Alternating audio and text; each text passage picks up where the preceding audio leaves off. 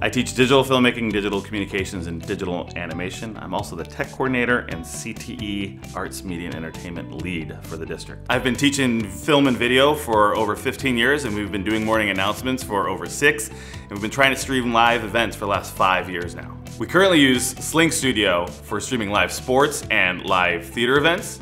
Um, and with the new green screen feature, we could use it for uh, morning announcements, and we could also be using this for graduation. Before Sling, I would have two different types of productions going on when we were streaming. It was either in the theater with a lot of equipment or in the field with very little equipment.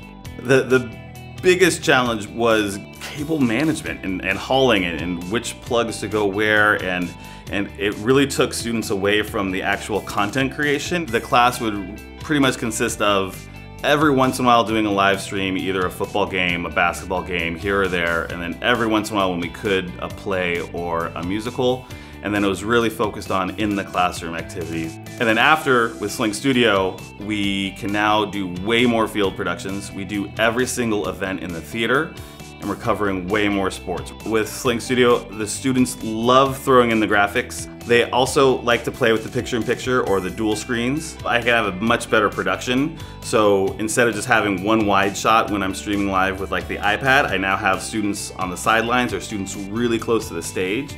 And with SlingStudio, they set up quickly and then I hand the iPad over and I barely have to give any technical instructions. They start to understand exactly where to go. They swipe, they drag it right in. They know exactly how to switch between cameras and it's very instinctive for them. The camera links are amazing. I can have my SlingStudio at the top of the stands at the 50 yard line and I can have one camera at each corner.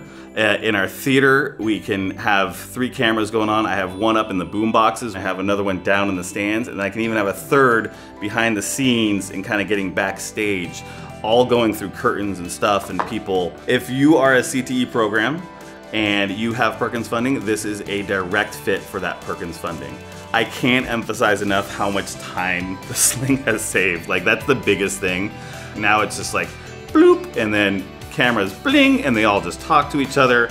It's literally turn it on, turn the iPad on, turn the sling on, and bam, we're ready to go. It has bought me time with my family. It's bought me time to, you know, prep. It's better connections with my students. It's not this haul, it's not this chore. It's now kind of a pleasure to kind of go out there and, and do a live shoot.